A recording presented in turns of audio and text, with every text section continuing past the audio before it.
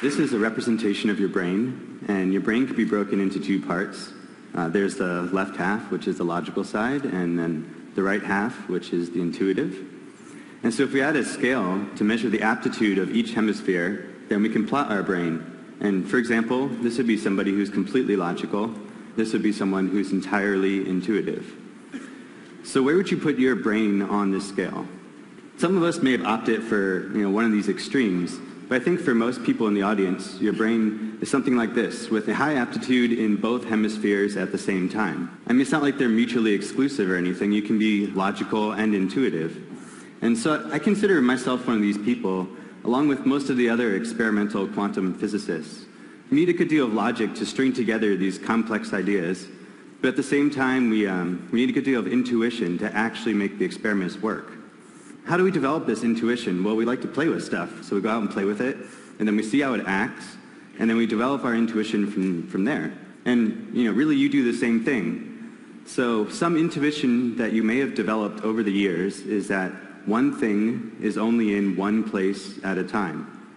I mean, it even sound weird to think about uh, one thing being in two different places at the same time. But you weren't born with this notion, you developed it. You know, I remember watching a kid playing on a car stop. He was just a toddler and he wasn't very good at it, and he kept falling over. But uh, I bet playing with this car stop taught him a really valuable lesson, and that's that large things don't let you get right past them, and that they stay in one place. And so this is a great conceptual model to have of the world, unless you're a particle physicist. It'd be a terrible model for a particle physicist because, well, they don't play with car stops. They play with these little, little weird particles. And when they play with their particles, they find they do all sorts of really weird, weird things, like they can fly right through walls, or they can be in two different places at the same time. And so they wrote down all these observations, and they called it the theory of quantum mechanics. And so, you know, that's where physics was at a few years ago. You needed quantum mechanics to describe little tiny particles, but you didn't need it to describe the the large, everyday objects around us. This didn't really sit well with my intuition, and maybe it's just because I don't play with particles very often. Well, I mean, I, I play with them sometimes, but not very often. Um, and I've never seen them. I mean, nobody's ever seen a particle. But this, it didn't sit well with my logical side either, because if everything is made up of little particles, and all the little particles follow quantum mechanics, then shouldn't everything just follow quantum mechanics? Yeah, I don't see any reason why it shouldn't. And so I'd feel a lot better about the whole thing if we could somehow show that an everyday object also follows quantum mechanics. So a few years ago, I set off to do just that. So I, I made one. This is the first object that you can see that has been in a mechanical quantum superposition.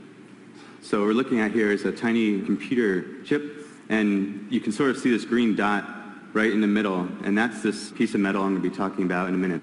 This is a photograph of, of the object, and here I'm going to zoom in a little bit. We're looking right there in the center, and then here's a really, really big close-up of the little piece of metal. So what we're looking at is a little chunk of metal, and it's shaped like a diving board and sticking out over a ledge. And so I made this thing in nearly the same way as you make a computer chip. I went into a clean room with a fresh silicon wafer, and then I just cranked away at all the big machines for about 100 hours. For the last step, I had to build my own machine to make this swimming pool-shaped hole underneath the device. This device has the ability to be in a quantum superposition, but it, it needs a little help to do it. Here, let me give you an analogy. You know how comfortable it is to be in a crowded elevator? I mean, when I'm in an elevator all alone, I like do all sorts of weird things, but then other people uh, get on board, and I stop doing those things because I don't want to bother them or frankly scare them. Uh, so quantum mechanics, quantum mechanics says that inanimate objects feel the same way. The fellow passengers for inanimate objects are not just people, but it, it's also the light shining on it and the wind blowing past it and the heat of the room.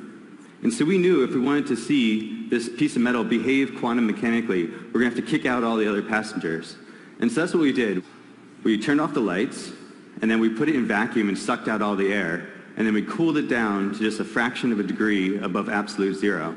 Now, all alone in the elevator, the little chunk of metal was free to act however it wanted. And so we measured its motion, and we found it was moving in really weird ways.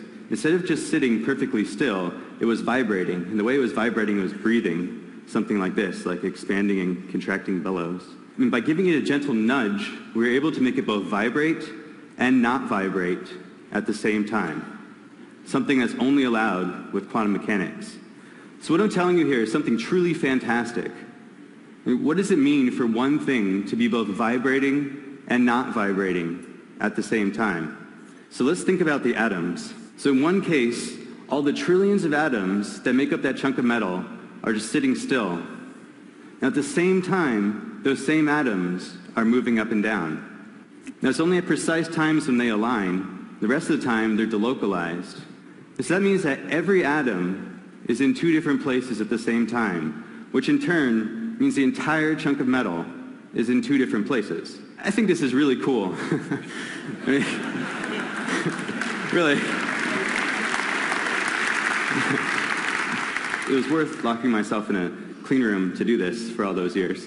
Because um, check this out. The difference in scale between a single atom and that chunk of metal is about the same as the difference between that chunk of metal and you.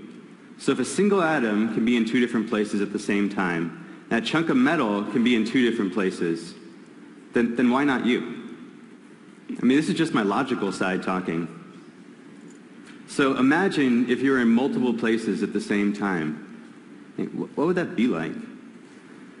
How would your consciousness handle your body being delocalized in space?